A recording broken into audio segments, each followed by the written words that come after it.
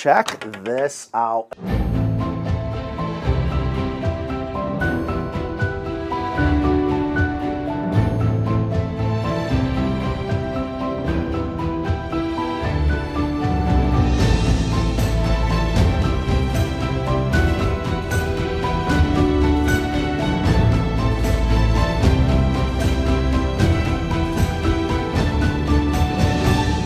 What's going on guys? Matt here with Carolina Coops and today we are in Cedar Mountain, North Carolina. I just showed up to see this beautiful custom coop we did a little over a year ago.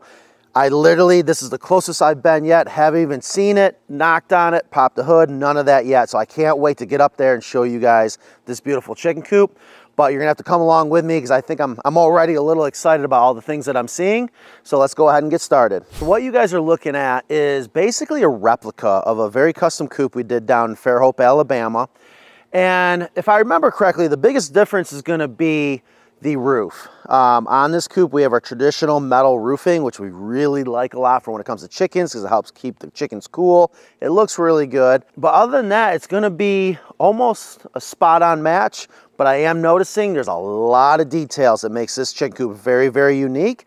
So first things first, the run area is, looks to be, actually let me measure it so I don't lie to you.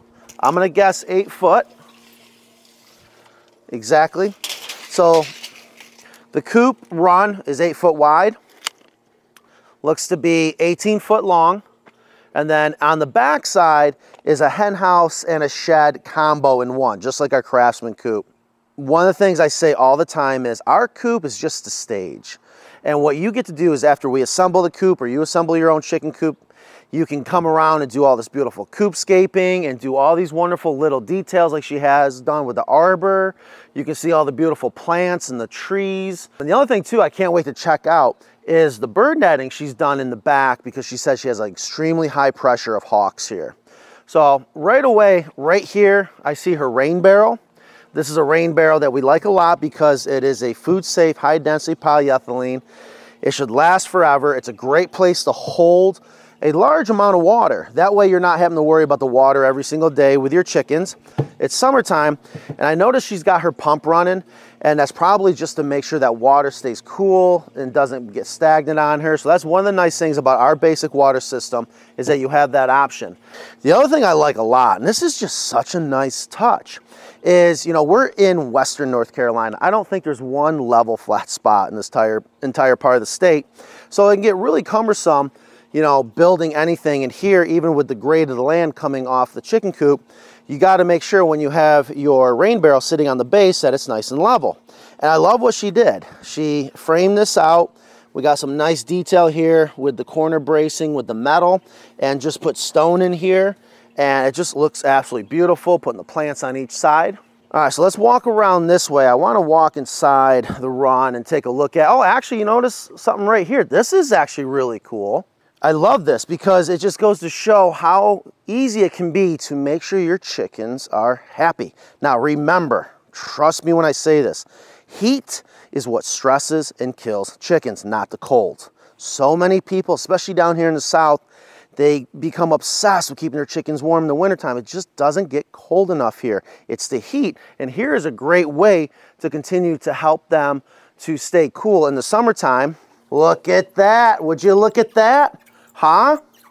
So I have to believe, you know, on those real hot days, um, right now it's early, so we're looking at the, the sunrise over here, so um, we can block out those really warm mornings and as the sun comes up and over. And the other thing I noticed too, this is so smart. Um, she's got her dust bath right on the other side. And I've noticed a lot of chickens, when they take their dust bath in our more standard traditional coops, they do it right underneath the hen house. And I never really understood why, but I wonder if it's because it tends to be a little bit more shadier underneath the hen house.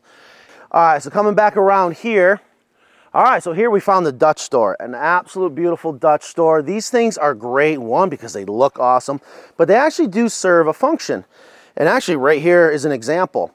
There's gonna be many times that you're gonna wanna be able to either throw your table scraps in or maybe your kids are out, your grandkids, whatever want to come over and you don't want them to go into the run, but you want to be able to open this up so the chickens don't come running out. But more importantly, he or she would have a hard time getting into the run real easily. So here's a great example of why it's so nice to have a Dutch door. But we're gonna go in there. So we're gonna go ahead and shut this.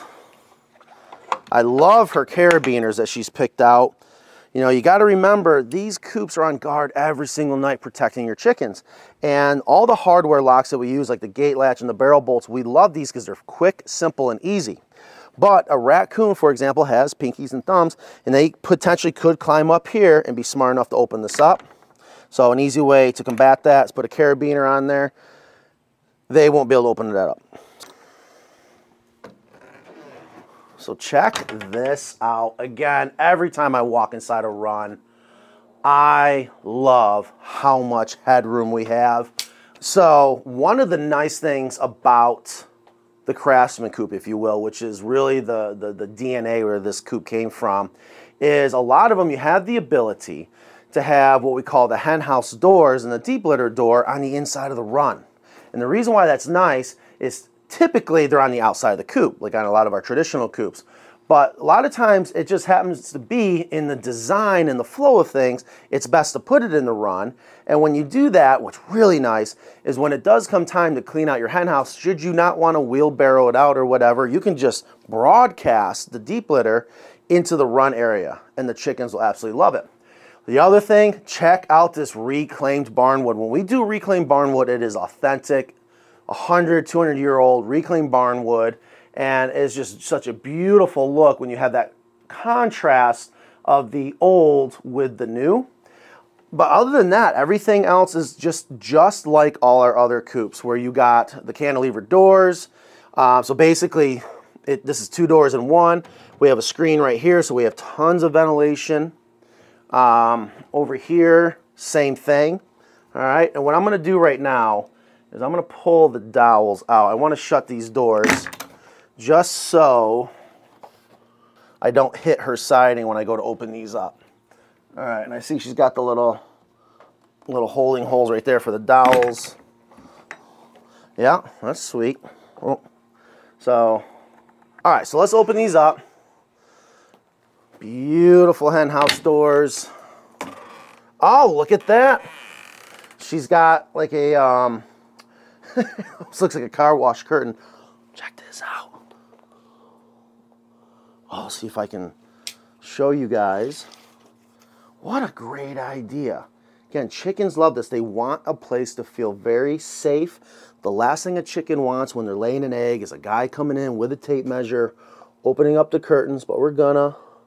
Look at her. How beautiful is that, guys? That is absolutely awesome. So we'll take a look at her when we go to open up the egg hutch, but we're gonna leave her alone. I'm not to open up her deep litter door because it's already started. It'll just make a mess. But trust me, this is the deep litter door. When it does come time to clean, you just drop down the door, pulling sweeping motion. Again, you can wheelbarrow it out, but I have to believe since she went with the idea of having the hen house doors inside the run area, you just pull it, dump it in the run area. It'll benefit the chickens greatly. Now, the other thing is, at these beautiful rope wrap roost bars and you can remove them very easily if you have to clean them, but you shouldn't have to. And tons of headroom inside here. So very important when it comes to the hen house area that the chickens are not in some little tiny pressure cooker, if you will, of a hen house. You want lots of room so that when it does warm up, which is gonna warm up, okay? Notice that we have a ridge cap where everything can exhaust out through the top and it just stays very cool and comfortable for the chickens. So check this out. Oh, and look at, I forgot. So the customer had these powder coated. So they kind of blended in with this clapboard siding. So we're just gonna open this up. this is sweet. Look at that.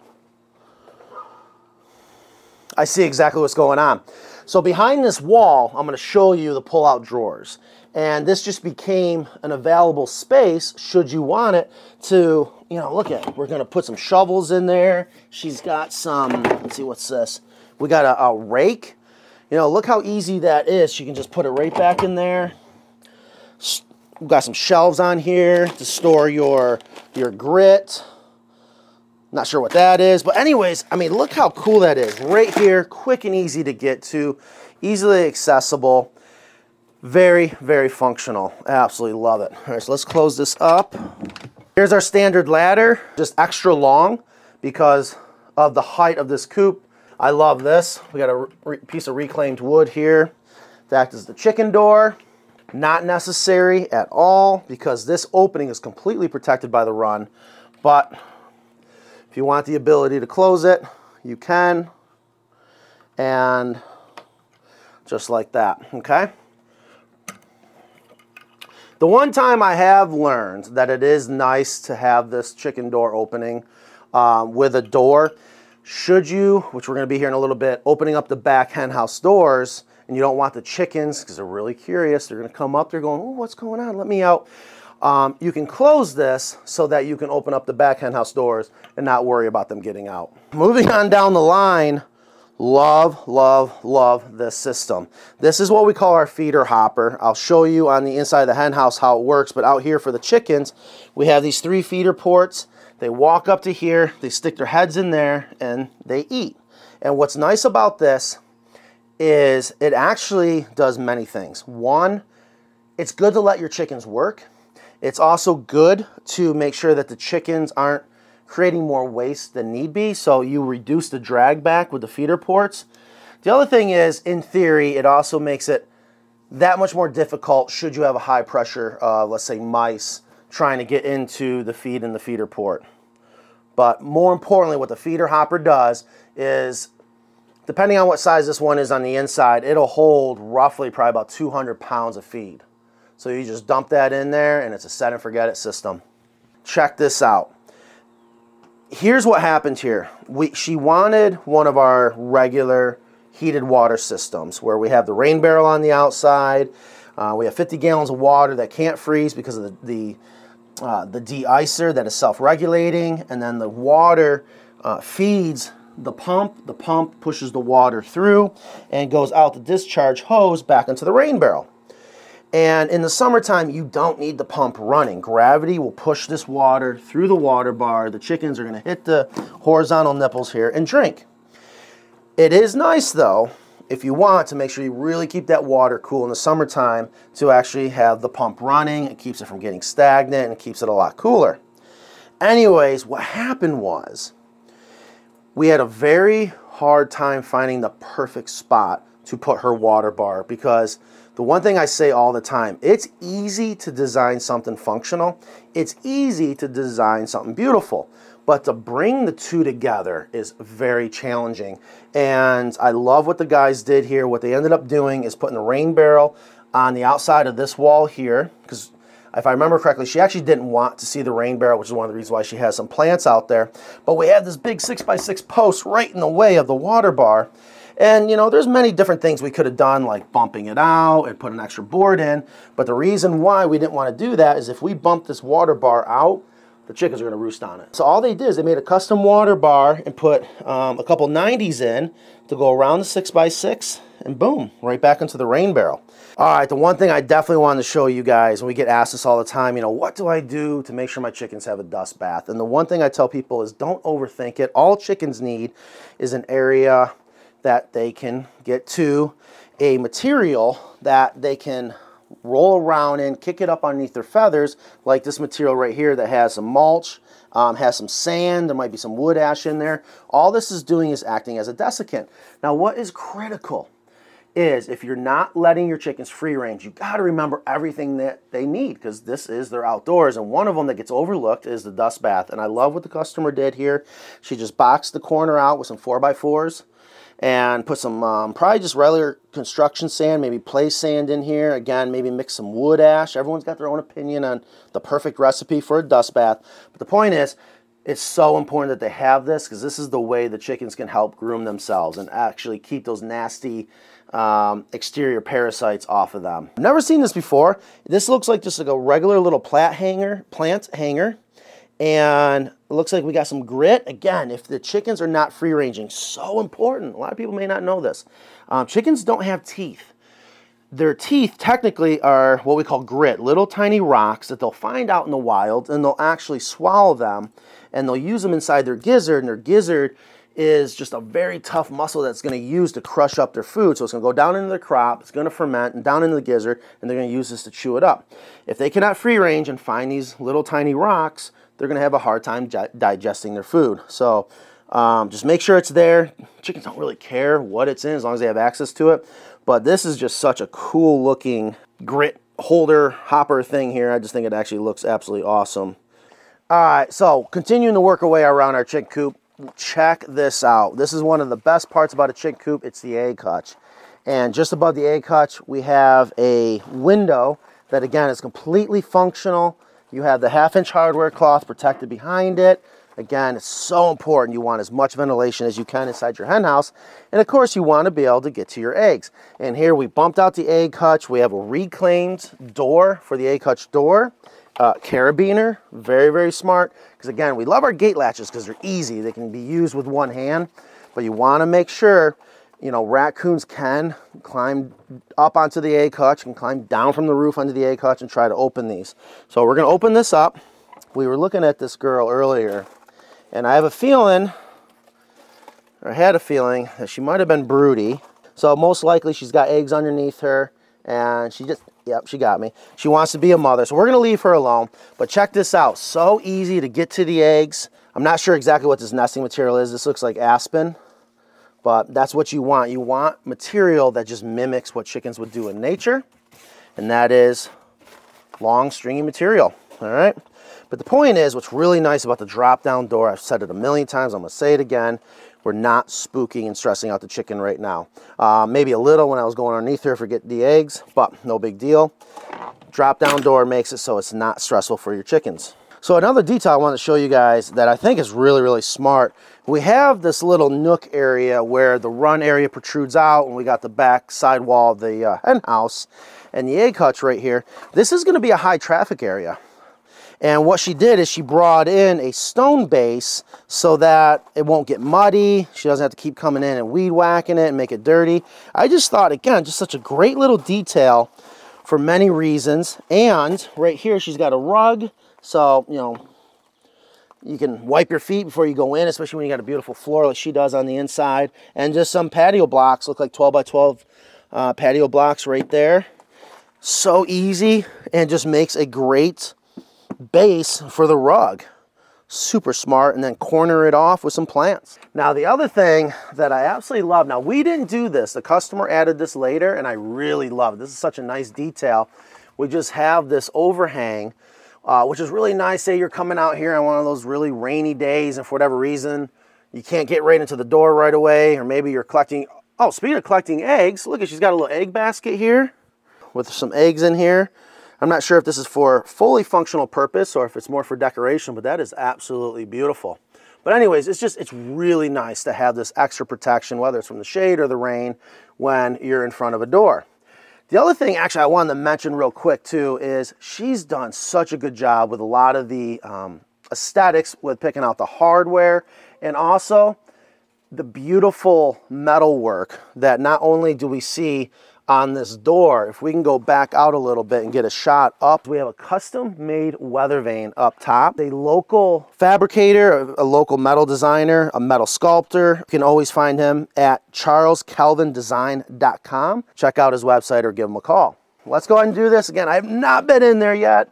This is one of my other favorite parts. All right, so check this out. This is absolutely beautiful. We are inside the shed area. Right here, you can see the back side of the hen house. Here's these hen house doors framed out in the Douglas fir and then trimmed out in that reclaimed barn wood. Just, again, I love the contrast between the old and the new. And what this does, just like all our other Craftsman coops, we can open this up. For whatever reason, have access to the back side of the hen house. I can tell you, People have said, Matt, this is great for when it's raining, it's storming, and it might be cold out, whatever. They don't have to be outside of the chicken coop. They can come right inside the shed area and again get access to the back side of the hen house. All right, now one of the things that people love about the Craftsman style chicken coop is this right here. We can pull these drawers out and I mean, technically they're not drawers, they're cards. They can hold up to 500 pounds and just have the ability to store, you know, whether it's your industrial hemp or whatever it is that you want to store on these carts. We're taking advantage of that dead space underneath, and I love what the guys did here. They continued the clapboard siding inside, even on the drawers. We can pull these out.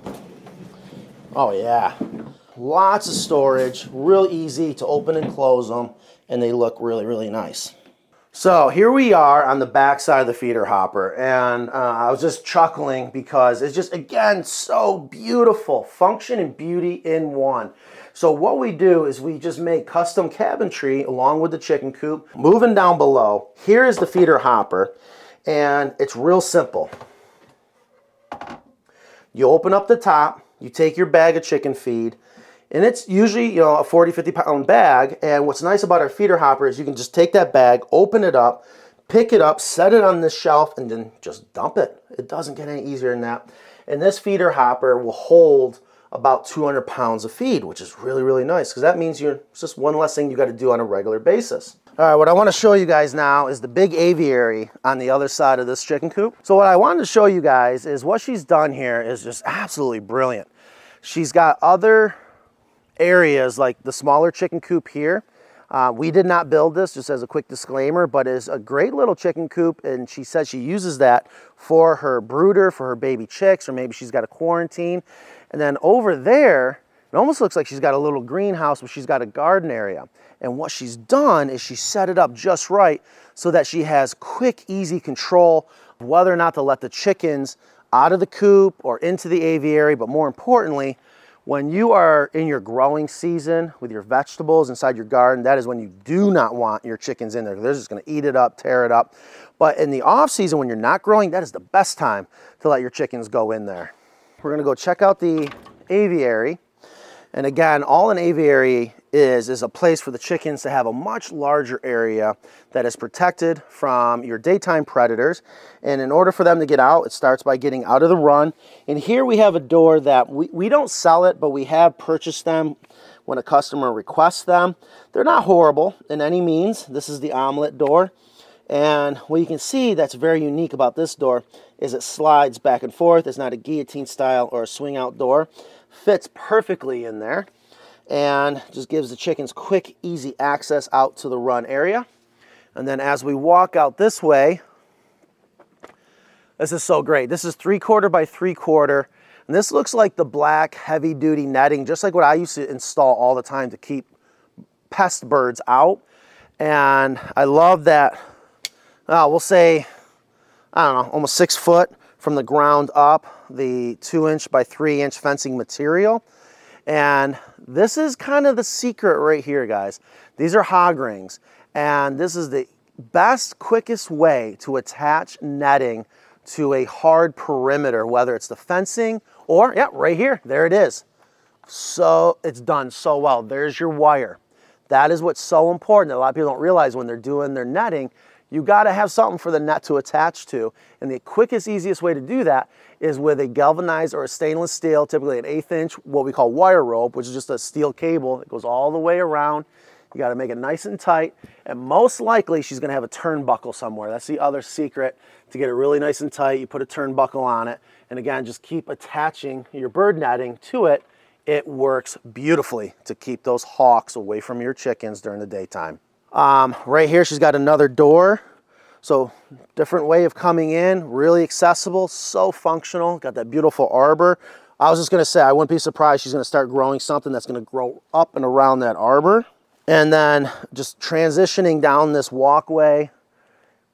So simple. Yeah, she's got the pressure treated posts in. She was able to catch that wire, something to attach your fencing material to, and just continue on right down the line. Another door aha, I see what's going on here. So she's got a very large door, and this is gonna be so that she can come in here, uh, probably with like a wheelbarrow, um, should she ever have to, hence the reason why this door, I'm gonna say it's probably about a four foot wide opening. Five foot, almost a five foot wide opening. So real easy to get in and out with a wheelbarrow or maybe a small tractor, I'm not exactly sure. The other thing too that is really nice about what she's done is she kept it up high enough that, you know, it's high enough for me to walk through. It's starting to get a little bit shorter, but you can see how easy it is. It's almost like a, a circus tent where you can have a post that goes up. You can have a post that goes up as high as you want, really, and you can attach cables to it for the netting to sit on, again, just like a circus tent. So we'll just take a quick look over here at her other coop. Again, this is where, yeah, you can definitely see she's got some younger hens and she's, she's making sure her automatic door here doesn't open so that the, the younger hens don't get beat up by the older hens. But this is a great way where the older hens can come, see them, talk to them through the fence. And hopefully the idea is that they get to know each other. And then once those girls are the same size, that is a good time to let them out and start really having some sort of, sort of engagement with the older chickens from the existing flock. Oh, check this out. So she's got what we call a sprout box. Yes, this is fantastic. Chickens love greens. And what can happen is if you try to plant greens, the chickens are just going to eat it up and it can't regrow. Well, a way to combat that is you have what's called a sprout box where you just have a box, you fill it up with soil, you put some seed in there to grow whatever it is you want to grow, and you put the hardware cloth over top. What will happen is the greens will grow through it so the chickens can eat it, but they can't scratch at it. Therefore, it'll continue to um, regenerate itself for your chickens. Here's her door so that when she wants, you know, definitely during the non-growing season, she can let her chickens go right into the garden. There we go. just that simple. So the chickens can have access to her garden when she wants them to. So smart, super, super easy. So here's exactly what I was talking about. Here we have this beautiful, gosh, I'm not exactly sure what type of tree. Uh, actually, it looks like a poplar tree, but either way, um, what she's done is attached the cable coming up to an eye bolt and right there's that turnbuckle. All right, you twist it and it'll tighten the cable. And what that allows her to do is attach the netting with the hog rings and, and help raise the canopy so it's not too short when you're walking inside here and you're not hitting your head. I absolutely love it.